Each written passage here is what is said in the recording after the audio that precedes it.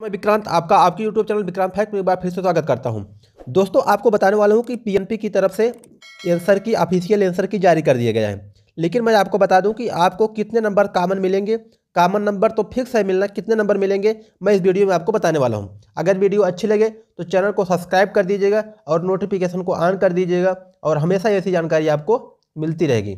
मैं हमेशा TET C TET और गवर्नमेंट जॉब से संबंधित वीडियो लाता रहता हूँ। तो चलिए वीडियो को शुरू करते हैं।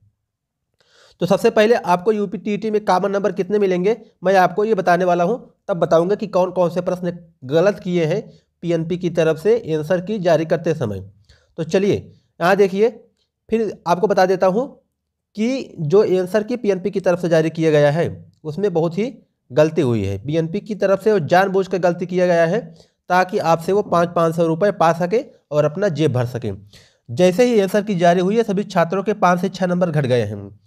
आप अपना जो आंसर की कोचिंग की तरफ़ से बताया गया था कोचिंग वाले ही पीएनपी से ज़्यादा सही बताए हैं। जी हाँ कोचिंग वाले ही पीएनपी से ज़्यादा सही बताए हैं आंसर की। अब ऐसा क्यों है? जैसे ही आंसर की जारी हुई, सभी छात्रों के पाँच से छः नंबर घट गए हैं। आंसर की मिलाने पर पीएनपी आपत्ति दर्ज करने के लिए पाँच प्रति प्रश्न लेगी। अगर प्रश्न सही पाया जाता है तो तभी सभी छात्रों के पाँच सौ रुपये वापस कर दिए जाएँगे। सॉरी वापस कर देंगे छात्रों का कहना है कि परीक्षण या प्राधिकारी ने कुछ प्रश्न सही होते हुए भी गलत कर दिया हाँ। गलत इसलिए कर दिए हैं ताकि उनको पाँच पाँच सौ रुपये मिल जाए। जैसे अगर आप एक प्रश्न करेंगे एक प्रश्न में आपत्ति दर्ज करते हैं तो आपको पाँच सौ रुपये देना पड़ेगा। फिर मान लीजिए, अगर आप दो प्रश्नों पर करते हैं तो एक हज़ार देना पड़ेगा। मतलब प्रति प्रश्न पाँच सौ।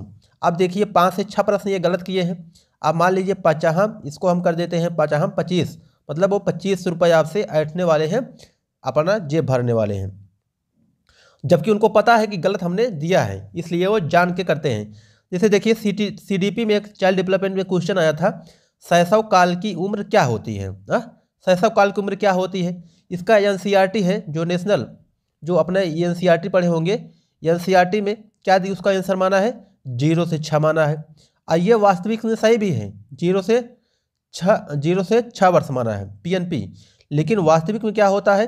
ज़ीरो से दो वर्ष होता है। एन भी ज़ीरो से दो ही मानी है, जबकि पीएनपी कौन मान लिया है?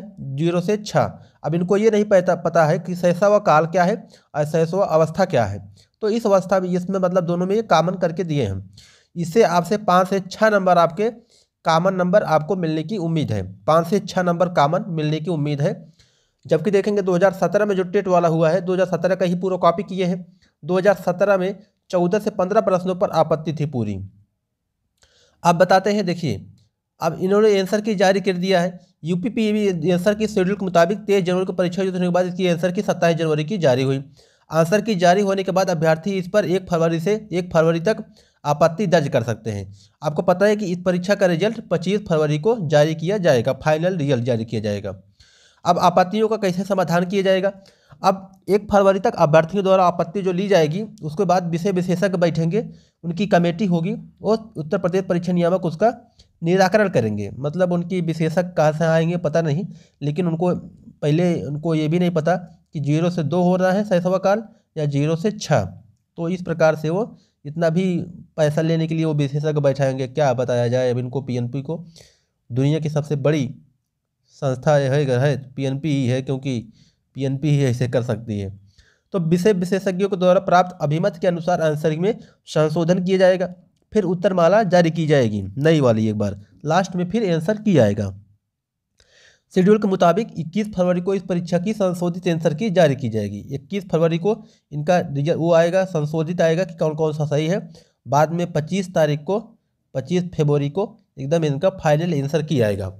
तो बस आपको अगर पाँच से छः नंबर हैं तो आप डरिए मत। अगर पाँच से छः नंबर आपका कम हो रहे हैं तो मान के चलिए आप पास हो सकते हैं। जैसे अब ओबीसी के लिए पचपन प्रतिशत और जनरल के लिए साठ प्रतिशत। ओबीसी के अलावा इसमें ओबीसी के अलावा एससी हो एसटी हो, सब के लिए भी पचपन प्रतिशत है। मतलब पचपन प्रतिशत हम बोले तो इसको हम कह सकते हैं बयासी नंबर।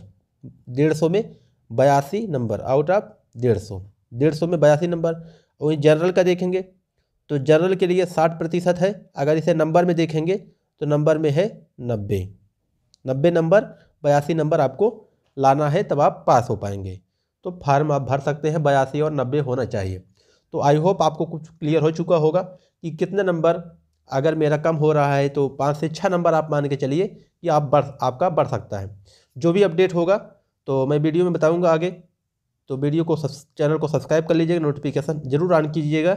ताकि हमेशा आपको जानकारी मिलती रहे, सरकारी नौकरी से संबंधित, TET CTET U P TET से संबंधित सभी जानकारी। मिलते हैं नेक्स्ट वीडियो में। जय हिंद।